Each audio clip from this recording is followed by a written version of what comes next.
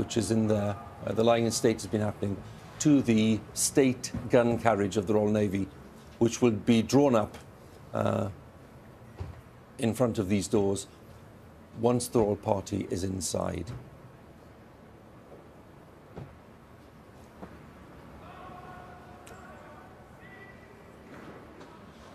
Duke of Sussex there, and uh, Peter Phillips, the Princess Royal's son, the Lord Great Chamberlain, who's in charge of the royal sections of the Palace of Westminster, the Speaker of the House of Commons greeting them, Lindsay Hoyle, and the Speaker of the Lords, the Lord Speaker, Lord um, McFall.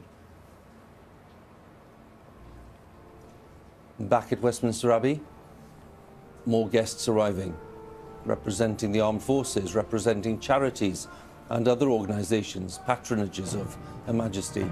They've all been invited for a specific reason because they represent either great achievements in the Queen's reign or just really representing the Queen's own interests.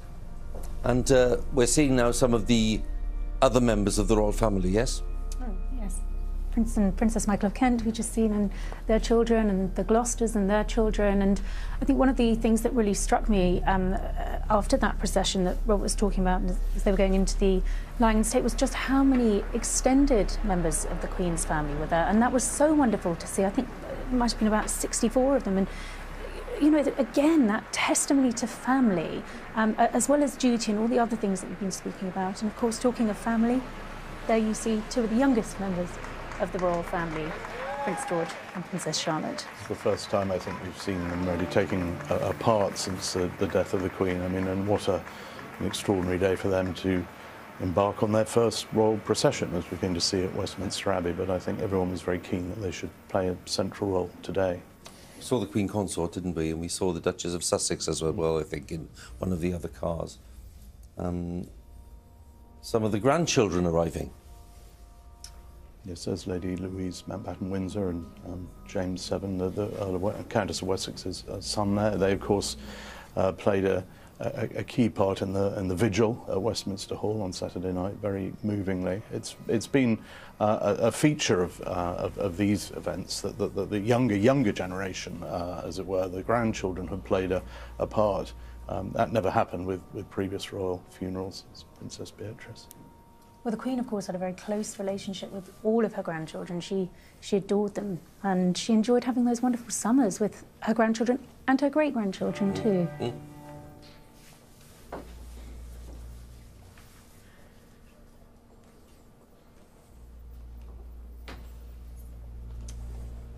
Here we are in the Abbey, congregation now more or less all in place now that the members of the royal family have uh, joined, but not all of them, of course, because the King and senior members of the royal family are across the road in Westminster Hall. They're at the Palace of Westminster, and they're the great sight of the naval ratings with the carriage. Just there in the background, you can see the great wheels of the state carriage, the gun carriage, um, which since 1901 has been kept for the specific purpose of um, bearing the monarch's coffin.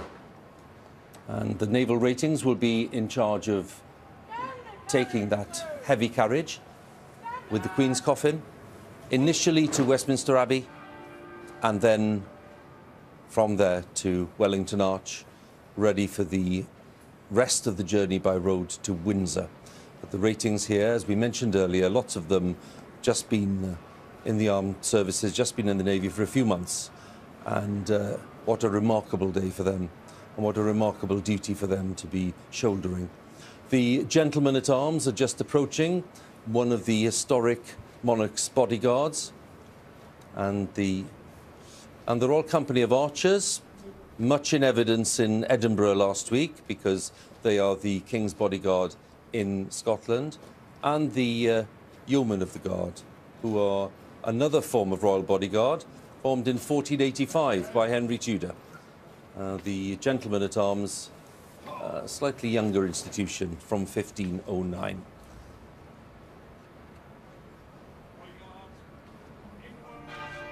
So the Queen Consort is uh, arriving at Westminster Abbey. I'm talking to David Hoyle, the Dean of Westminster, um, being shown in and uh, welcomed. And they'll be making their way all the way down the nave. George and Charlotte, the Prince and Princess, uh, looking immaculate.